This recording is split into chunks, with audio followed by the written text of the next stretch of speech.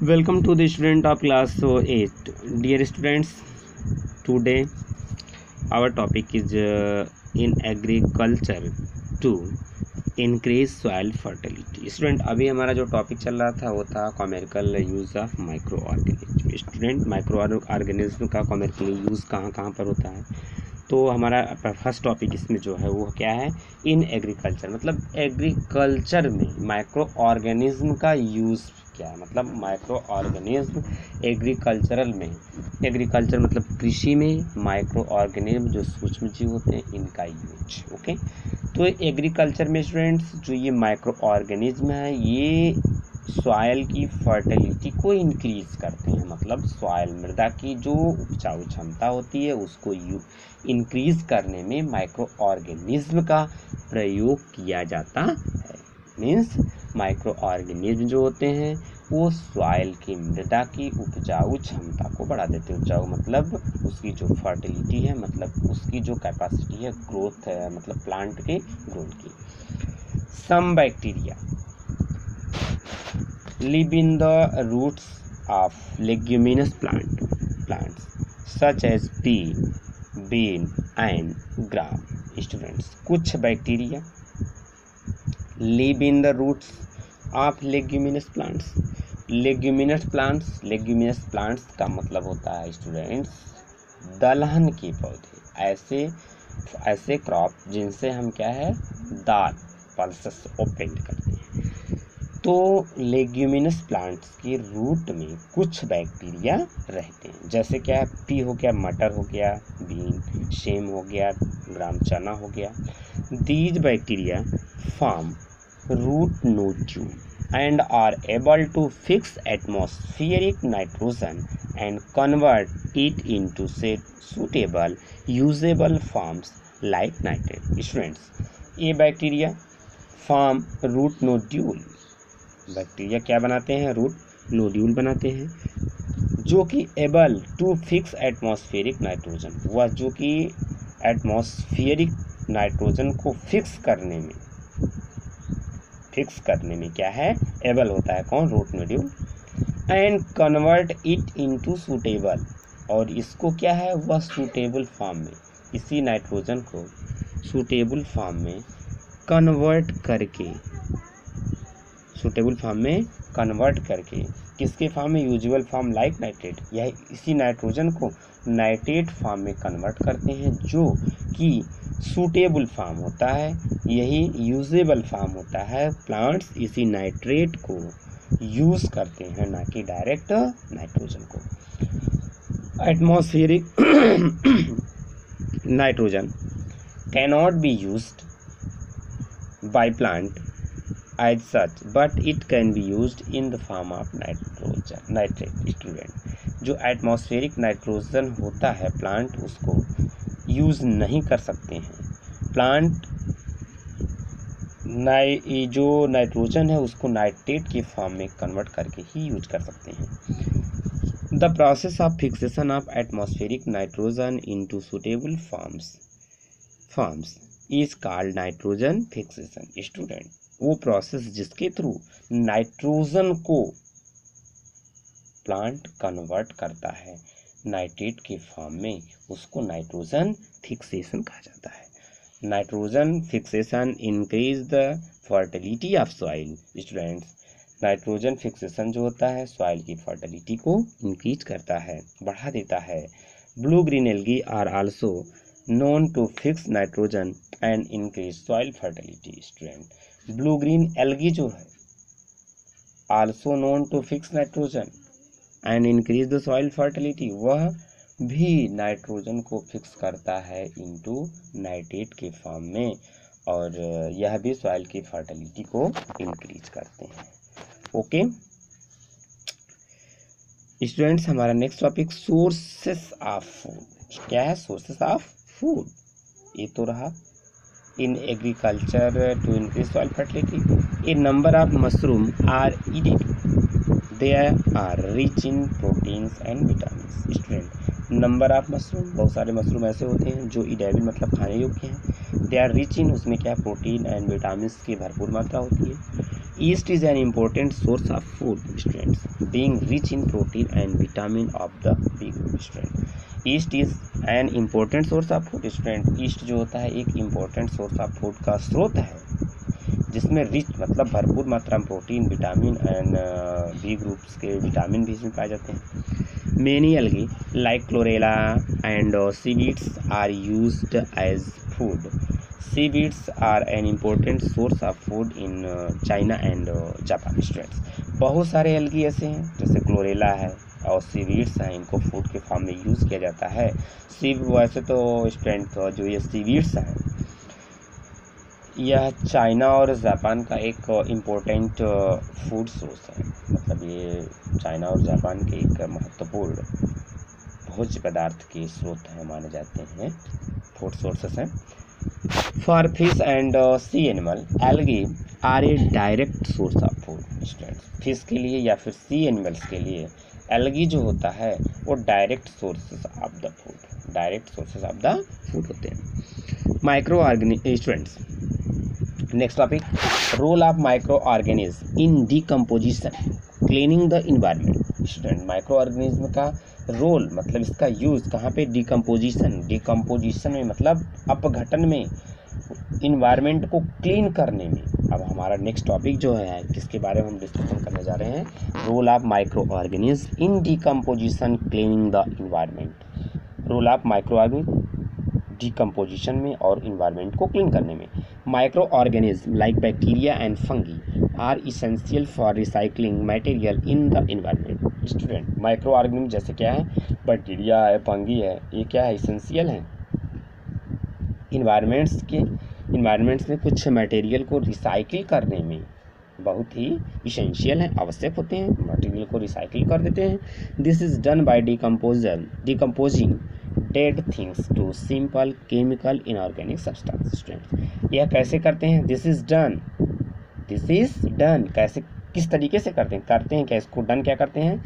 कि जो dead things होते हैं मतलब सड़े, मृत, कुछ ऐसे थिंग्स होती हैं, पदार्थ होते हैं थिंग्स वस्तुएँ होती हैं, इनको यह एक सिंपल केमिकल इनऑर्गेनिक सब्सटेंस में कन्वर्ट कर देते हैं। मतलब उसको डिकम्पोजिंग कर देते हैं। जो ब्रेक डेड थिंग्स होती हैं उसको डिकम्पोजिंग कर देते हैं एक सिंपल इनऑर्गेनिक केमिकल सब्सटेंसेस में पदार्थों में कार्बनिक पदार्थों में। Such micro organism are thus called decomposers students ऐसे माइक्रो ऑर्गेनिज्म को डिकम्पोजर्स कहा जाता है। ऐसे such micro organism are called decomposers As mentioned above, the they include fungi and certain bacteria which live in the soil. Student जैसा कि हमने पहले मेंशन किया है बैक्टीरिया अभी एक्सप्लेन किए हैं कि they as they including they include fungi and certain bacteria which live in soil जो फंगी इंक्लूड होते हैं, कुछ बैक्टीरिया हैं लिव सॉइल में रहते हैं। These feed on the waste material जो क्या है फंगी इंक्लूड है मतलब बैक्टीरिया है, ये क्या है? किसको खाते हैं? These feed on waste material such as dead plants and animals student these feed on waste material ये वेस्ट मटेरियल को फ़ीड करते हैं जैसे डेड प्लांट्स को एनिमल्स को as well as animal dropping and animal के ड्रॉपिंग जो होती हैं फेसेस मतलब ऐसे खराब पदार्थ जो होते हैं एनिमल फेसेस फिकल मटेरियल्स को faecal the inorganic compounds release during during decomposition including gas like carbon dioxide, water vapor and minerals like nitrates, sulfate, phosphates and potassium ion student ऐसे इनऑर्गेनिक कंपाउंड्स ऐसे जो है अकार्बनिक पदार्थ हैं अकार्बनिक compounds हैं पदार्थ हैं रिलीज़ होते हैं डिकम्पोजिशन के समय। जैसे बताए ना कार्बन डाइऑक्साइड है वाटर वाइपर है मिनरल्स हैं नाइट्रेट हैं सल्फेट हैं फास्फेट हैं पोटेशियम आयन्स हैं। These are use by green plant during photosynthesis and other process ये यूज़ कर ली these are use by green plants ये ग्रीन प्लांट्स के थ्रू यूज़ कर लिए जाते हैं। ड्यूरिंग फोटोसिंथेसिस के दौरान जो होते हैं ये green plants in organic substances को क्या कर लेते हैं? यूज़ कर लेते हैं। Decomposer in this manner play an important role in the maintaining of maintaining life on the students इस तरीके से जो डिकम्पोजर होते हैं लाइफ uh, मतलब अर्थ पर जो लाइफ है, यहाँ पर जो लाइफ अर्थ पर जो जीवन है, उसको मेंटेन करने में, बरकरार रखने में एक महत्वपूर्ण रोल प्ले करते हैं, एक महत्वपूर्ण रोल अदा करते हैं।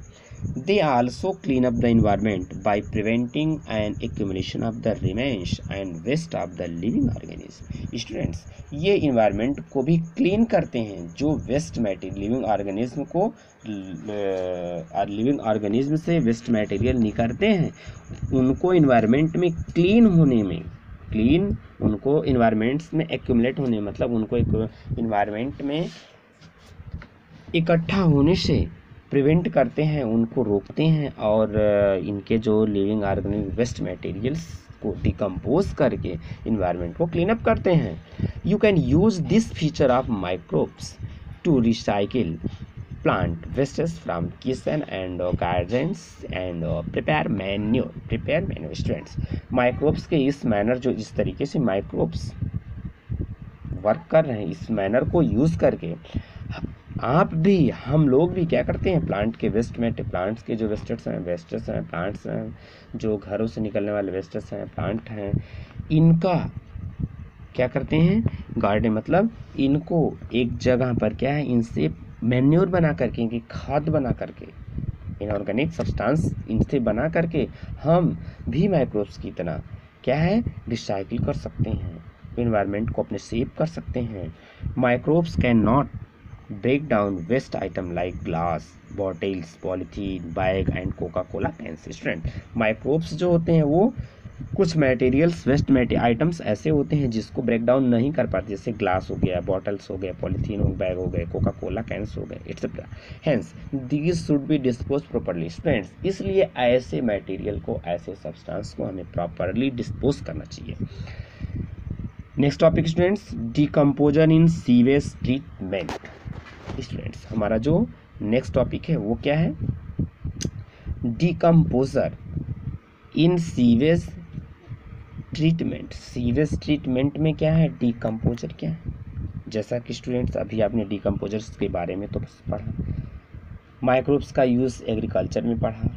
सोर्स ऑफ़ फ़ूड में आपने पढ़ा। इन्वायरमेंट क्लीन के बारे में, आप क्लीनअप के बारे में पढ़ा। अब हमारी जो टॉपिक है वह है decomposer in sewage treatment decomposer in sewage treatment sewage treatment में डिकम्पोजर्स का क्या है?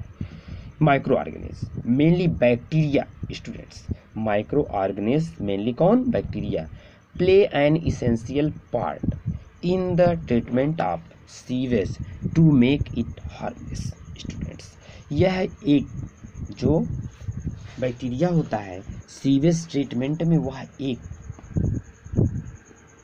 इम्पोर्टेंट रोल प्ले करता है। सीवेज टू मेक इट जिसको क्या है? मेक इट हार्मलेस बनाने में, ठीक है? किसको? माइक्रो ऑर्गेनिक किसको play part in the treatment of sewage ठीक है? उसका क्या एक महत्वपूर्ण ही रोल है, किसमें? सीवेज ट्रीटमेंट में, जिसको क्या बनाते हैं? मेक इट हार्मलेस इसको हार्मलेस बनाते हैं। Sewage faecal matter substances from households waste and chemicals from factory student जो सीवेज होते हैं उसमें क्या कंटेन है? फेकल मैटर है। सब्सटेंसेस हैं। फेकल मैटर सब्सटेंसेस हैं। हमारे घरों से निकलने वाले वेस्ट मटेरियल हैं। कुछ केमिकल्स जो होते हैं फैक्ट्री से निकलते हैं।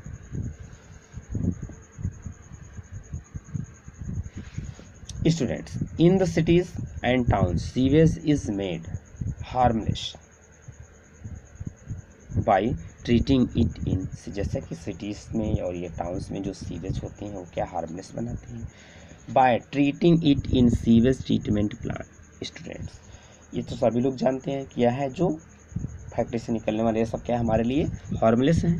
स्टूडेंट्स तो हमें क्या करना चाहिए कि मतलब जो टाउन्स या सीवेज से निकलने वाले वेस्ट मटेरियल हैं पहले तो उनको सीवेज ट्रीटमेंट प्लांट में उनको ट्रीट करना चाहिए, before it is discharge into river.